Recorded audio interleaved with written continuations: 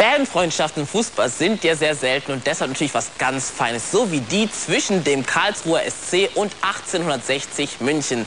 Wenn die beiden Teams mal aus Versehen gegeneinander spielen, dann hauen sich die Fans nicht gegenseitig auf die Mütze, sondern feiern das Spiel zusammen. Zwischen den Backstreet Boys und der Fun Factory bahnt sich was ganz ähnliches an, eine Bandfreundschaft. Im neuen Backstreet Boys Clip sind sich die beiden Ex sogar so nahe gekommen, dass der Spaßfabrikant Tony durchs Bild fliegt und ein paar Rhymes zum Besten gibt. Hier sind die Szenen einer Freundschaft, die Backstreet Boys und Get Down.